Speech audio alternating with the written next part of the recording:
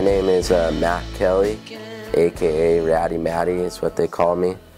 I'm from Newport Beach, California, and I work at Inkyard Tattoo. I kind of like living in my small town and doing my what I do.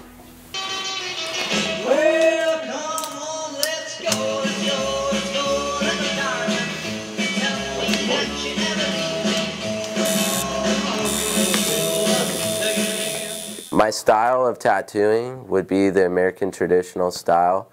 Uh, I really like doing that. It's it's a, a lot of heavy, bold outlines and um, a lot of heavy black with um, minimal color, about two to three colors in a tattoo. One of the craziest stories that I had tattooing would probably be I was in Costa Rica and a guy wanted to get a tattoo and he's all, oh, hold on, I left my gun in the car.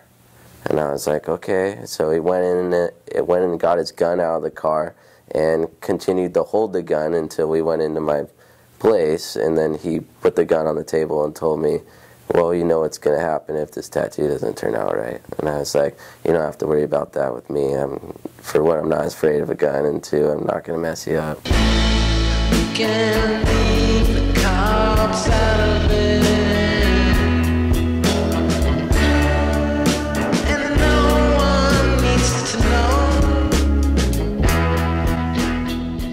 Usually a customer will come in and they have some kind of vision of what they want to get, but um, you know, then that's my job to create something that's more unique and more my style for them.